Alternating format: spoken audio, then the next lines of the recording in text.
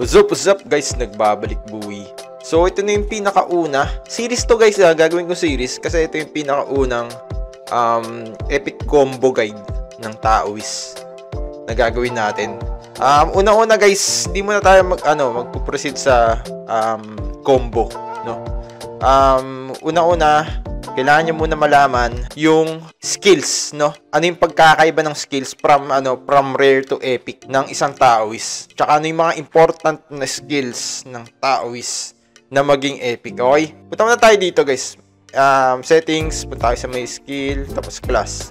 Kasi mas mabilis dito, tapos click nyo tong skill info, okay? So, hindi na natin gag, ano, uh, pag-usapan tong ulti. Proceed na tayo sa Moonlight Wave Tier 7. Tapos, pindutin nyo tong Awakening. So makita nyo dito yung pagkakaiba-iba ng effect ng skills per tier or per awakening, no? So nandito yung rare, nandito yung epic, nandito yung legendary.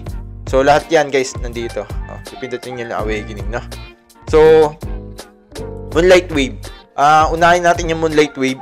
For me, talaga hindi siya magalagabi. Parang ano lang to, um, dagdag bawas lang. Tsaka dagdag bash sa piercing blade. Tsaka sa um, tawag dito, ano tawag skill to? Sunbeam Sword. No? Ah, uh, pagdating niya ng epic, pag naging epic siya, uh, killed pa rin for 12 seconds. Pero, ang maganda lang dito is yung increase recovery amount using recovery skills by 15%. So, parang Tai Chi na siya. Pero 15% lang. Okay lang rin yan kung just in case na nagko-cooldown pa yung Tai Chi nyo tapos kailangan nyo na mag-heal. Um, gumamit muna kayo ng Moonlight Wave bago ay mag-heal para mas mataas yung heal. Okay? So, yun yung effect niya pag naging epic. Ayun lang talaga. So, dito tayo sa ano, sa Sunbeam Sword. Sunbeam Sword, ito yung effect ng rare, ito yung effect ng epic. Hindi na muna natin discuss yung legendary. So, ito. So, konti lang, magkakaroon ng ano, ng minus armor sa kalaban. So, magkakaroon ng physical depth, tsaka ano, spell depth minus 50 for 30 seconds unremovable. Tapos, increase MP potion recovery amount by 10%. So, yun lang yung ano, kinaibahan. Pero guys, ang Sunbeam Sword ito yung pinaka, ano, pinaka mabilis mag cooldown sa lahat ng skills ng Taoist. No? Hindi ganun ka, ano, ka life-changing skill na needed. Pero, maganda to pang patay ng kalaban. Mabilisan lang. For me, ito, um, isa sa mga skills na kailangan nyo maging epic agad na itong Moonlight Orb. Okay? So, ito yung effect niya. From rare to epic. Yung dating killed na 10 seconds, pagdating ng epic, nagkakaroon na siya ng confuse for 10 seconds, no? Which is needed nyo for your soaring slash and rain of blade, no? Kailangan nyo yung ano, yung confuse para umilaw yung soaring slash tsaka yung rain of blade or mabash or mag uh, sa kalaban, no? So, ito yung effect niya. Um, minus ulit, minus ulit sa kalaban. Ay, ano, dagdag, ano, dagdag depth sa, ano, sa mga kaparty. Physical depth and spell depth, no? Tapos, eto, 60% chance to remove uh, magic shield tsaka yung cloaking. Kung nag-inbi yung kalaban, tsaka nag-magic shield yung ano yung yung sorcerer, 60% chance na mawala. Okay? So, ang pinakamahalaga dito is yung confuse. Kaya, isa sa pinakamahalagang skill to ng Taoist na kailangan nyo ma-epic agad. Okay? Pampalakas to. Maganda to, men. Maganda to. Kaya, kailangan nyo to, men.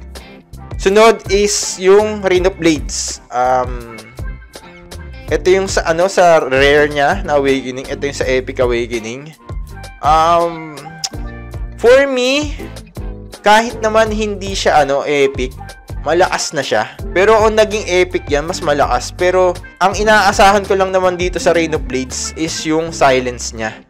Yung silence niya talaga. Pag nagbash kasi, men, ayun talaga yung inaasahan ko dito, men. Sa Rain of Blades. Pag nag-epic, nagkakaroon ng silence. Ayun. Tsaka, ang Rain of Blades, ang pinakamalakas na damage ng Taoist. Siya. Siya talaga. Siya yung pina- may pinakamalakas na damage. Lalo na pag nag-bash, no? Pangalawang ano, pangalawang pinakamalakas is yung Tai Chi and yung Soaring Slash. Pero Tai Chi kasi hindi nagbabash kaya medyo maganda rin naman yung Tai Chi. Sumunod yung Soaring Slash men sa Rain of Blade. Hindi siya kailangan maging epic agad, pero mas maganda kung nag- naging epic dahil sa silence, okay? Pangalawang skill na kailangan nyo maging epic agad is yung heal, okay? Ito yung t- ano, awakening ng rare niya. Ito yung awakening ng epic niya. So, ang, ang dami, oh. Immune to crowd control, okay? Gets. Ang pinakamaganda kasi pag naging epic yung ano, yung heal is ito, debilitation, mawawala. Pag nag-heal kayo, um, mawawala yung deb sa ano sa katawan nyo tsaka sa mga kaparty nyo na may heal. 50% chance sa ano sa party na. Um, dispel silence, yan. Mawawala yung silence. Kumbaga, pang ano, pang uh, debuff. Debuff ng debilitation ng kalaban, okay? Eh, ayan sa pinakamahalaga. Tapos tataas din yung heal nyo. Okay, pangalawa na to sa pinakamahalaga, no? Isa, sa, isa pa sa pinakamahalaga, Rain of Blades, okay? Sorry guys, bobo ko dito. Piercing blade guys. Ang piercing blade yung sinasabi ko dito guys ha. Baka kayo, okay? Ito is, uh, kailangan nyo lang maging epic to just in case na wala pa kayong epic na Moonlight Orb, no? So, yung Rain of Blades, pag umilaw to, uh, nag-deb sa kalaban, tapos ginamit mo, um, pag epic na to ha, pag ginamit mo sa kalaban, may chance ka uh, ma-chill yung kalaban which, which is uh, triggered pang triggered na naman sa ano sa Rain of Blade. Rain of Blades no, chilled and confused pati sa Soaring Slash, chilled and confused no. So kailangan niyo to just in case na wala pa kayong ano ah, Moonlight Orb na epic. Uh, Rain of Blades ang katulong nyo no para maging ano mag umilaw yung uh, ay Piercing Blade. Piercing Blade yung katulong nyo para umilaw yung Rain of Blades tsaka yung Soaring Slash. Pag ano, naging epic na, itong pinakamahalaga dyan, yung Chilled. Okay, yung Chilled. Ayun lang, ayun lang. Ayun lang, ayun, ayun lang ano, para sa akin ang mas, mahalaga dito, yung Chilled. Okay? Pang dev to sa ano, pang bash sa kalaban. Okay? Um, Guardian Circle, para sa akin, di masyado mahalaga yung Guardian Circle. No? pag naging epic siya. Although, pwede niya siya gamitin pag na-stun kayo, pero para sa akin, mahalaga siya as a buff, no? Pampakunat, pero not, ano, life-changing, ano, skill siya pag naging epic awakening siya, no? Hindi siya ganun ka, ano. Pero mas maganda naman, no? Tingnan nyo. Um, marami na siyang buff or uh, dagdag def sa ano sa sa ano sa sarili niyo no ayun yung maganda doon. Pero hindi siya ganun ka mahalaga pag naging epic. Ano? Mas maga, mas mahalaga pa rin yung isa. Okay? Tai Chi, ganun din.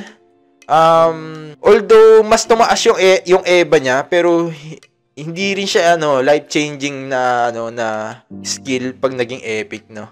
Yun lang, papatasin lang yung EVA tapos yung knockdown success, no. Tsaka may konting uh, dagdag na um, def.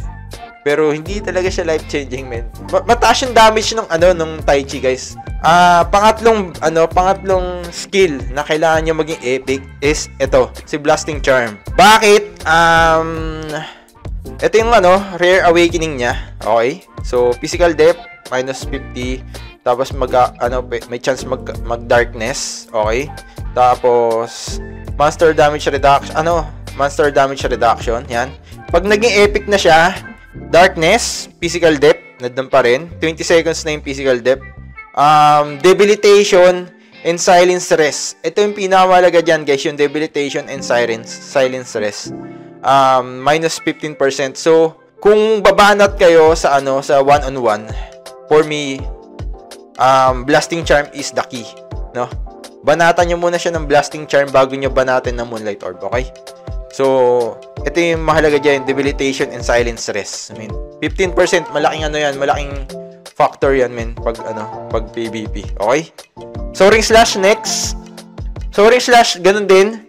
Uh, mas lumakas yung ano, uh, ang mahalaga lang naman sa Soaring Slash, minus armor siya sa kalaban. Uh, unremovable siya. Tapos, yun lang. Yun lang yung talaga maganda. Tapos, malakas yung damage niya. Okay, mas lumakas yung damage niya.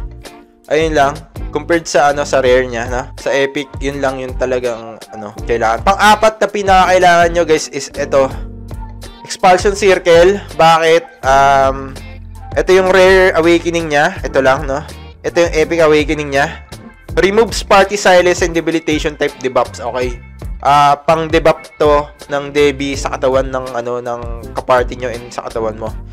You are able to use when silence. Pwede nyo gamitin to kahit silence. Kunyari na silence kayo, gamitin nyo para hindi niya ano, para mawala yung ano yung buff sa ano na yung deb sa katawan nyo or sa kaparty nyo no. Kaya maganda to guys no. Party's debilitation and silence rest plus 20 for 30 seconds. Um, ginagamit to ng mga Taoist pag nade-dep sila. Pero pwede nyo namang gamitin to um, kahit hindi kayo na ano nade-deb, okay? Maganda pa rin to, no? 30 seconds lang nga lang yung ano yung epektong debilitation and silence rest. 20% men laking factor na yun. Pero ang ang ang ano talaga nito, ang use talaga nito is pang debuff ng deb sa katawan pag na-dev kayo, okay? So, ito na yung pang-apat natin. Siyempre, last and not the least, no? Yung Awakening. Awakening! Kaya mahal to kasi nakapag-revive. na naman talaga po, ano nito. Nagiging, naging immune na kayo, invincible, tsaka nakapag-revive na kayo ng mga ka-party members nyo. So, ayun yung malaking malaking factors talaga dito. Kaya sobrang mahal na ito kasi ito lang yung tanging skill sa Mirror na nakapag-revive ng mga ka-party. Okay? So, dito tayo naging malakas. Tapos, invincible tayo ng 4 seconds. Alam mo, 4 seconds yung ano, invincible. Ay, 3 seconds lang. Okay, 3 seconds. Tapos, immune sa crowd control. So, alam na alam niya naman to, Awakening. Pinakamahal na skill ng isang Taoist. So, this is the first, no? So, nata nata natakil na natin kung bakit mahalaga yung mga skills na yan. Okay? Kung ano yung maha- pinakamahalaga at saka yung kung, kung ano yung pinakakailangan nyo maging epic agad na skills. Pero men, pagkuha ng epic skills is tsambahan lang rin. Kaya ngayon, kaya hanggang ngayon may mga taos pa rin na wala pang ano, greater heal, okay? So, that's it. This is the first video sa ating epic combo skill ng Taoist Guide. Um, the next one is yung talagang actual combo natin. Gagawa tayo ng mga combo. Possible combo ng Taoist. PvP. At uh, uh, guild versus guild tapos pang maramihan. Guys para parapit na yan eh yung isang content ng Mirror alam niyo na yon so that's it guys. This is Bowie. Maraming maraming salamat. Kung may natutunan kayo don't forget to hit the subscribe button bell notification tsaka like button. See you in the next video guys. Peace out. Babush